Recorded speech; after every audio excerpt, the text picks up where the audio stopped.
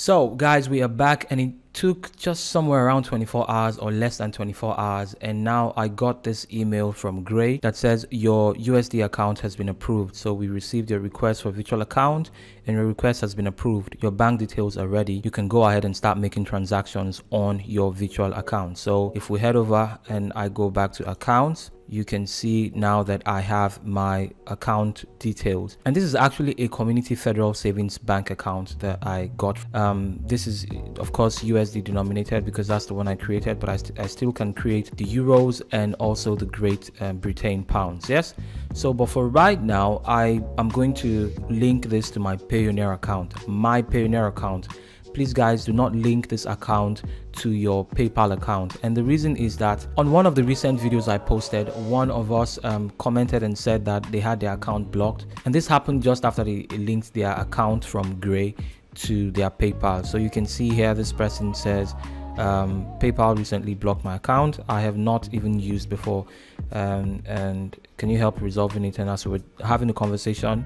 And this is why we also need to have conversations in the comment section so that we can learn from each other. So when we were talking he said i had linked my grey bank account and also my access card and i got a notification that i should provide card statement. But before i could do so two days after it was totally blocked. So as you can see here guys um, it seems like it could be from the grey account. I'm not sure but i was going to link I was actually going to link my um, the bank account I got from Grey to my PayPal but now I'm not going to do it because of all these reports about Grey account maybe not working with PayPal. So what I'm going to do instead, because I know that works for sure, is link it to my Payoneer. So please guys, do not link this for now to your PayPal. I'm going to try to link this Grey account to my one of my PayPal accounts that I I can afford to lose and see for sure if this is the problem, if there's an issue with the account to get on Grey and PayPal. So um, watch out for that. But for now, um, don't do it. Don't link it to your PayPal. So moving on, you can see I have my account details so i'm going to go to my payoneer and quickly link this account to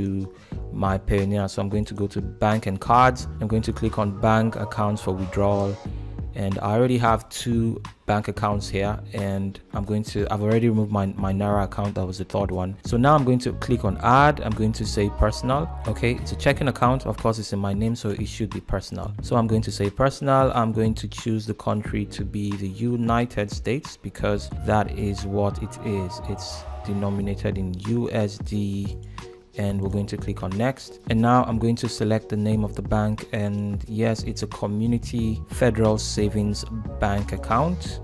And then the name on the bank account is of course my name. So when it comes to the routing number um, there are two routing numbers that are given to us here.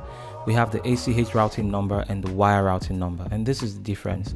So um, both of them are going to work but um, the ACH transfers take a bit longer to process but are usually free they are also ideal if you're looking for a convenient way to pay bills um, electronically.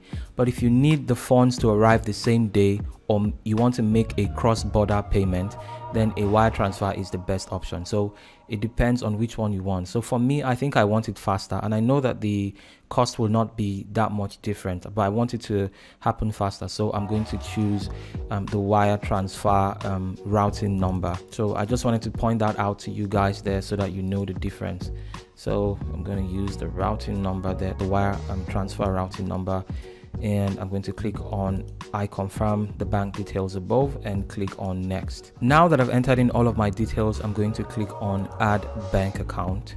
And you can see bank account added. So account approval takes up to 30 minutes and we'll email you when you can start withdrawing to this account. So that's how you can add the account. So if you go back now to uh, to banks you can see pending approval. So I think what I'm going to do next is I'm going to try to change the name of this the nickname for this account so that I know where it's going it's coming from. So I'm going to say grey. So that's how you add your account. And once this account um, is approved I can now start to transfer. In the next video I'm going to do a transfer and show you guys how you can send your money from from Payoneer to your grey account and then from your grey account to your Nigerian bank account. So um, I will um, encourage you to get this account and let me know if you have any problems creating this account in the comment section.